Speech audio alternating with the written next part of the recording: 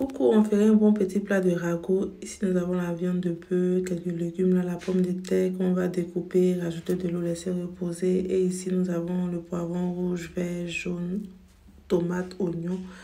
On va bien découper, ensuite les rincer et hacher avec un peu de persil. Voici un peu à quoi la mystique va ressembler. Ici, dans une cocotte, je vais venir faire dorer mes pommes de terre. On va précuire la viande avec mon, ma marinade extra épicée. Quand c'est bien cuit, je vais retirer et on va frire.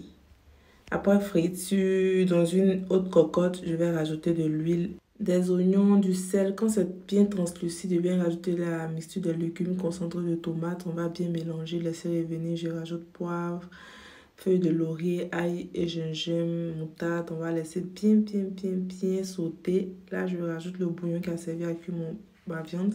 Les pommes de terre, je vais assaisonner avec mon bouillon d'assaisonnement. On va bien mélanger, laisser tout là faire pita, pita, pita. Je rajoute la carotte, la viande qui a été frite, haricots verts, piment.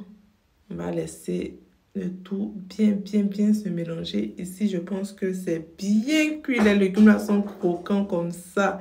So, voici le résultat au moment j'ai fait pita comme ça. Yes!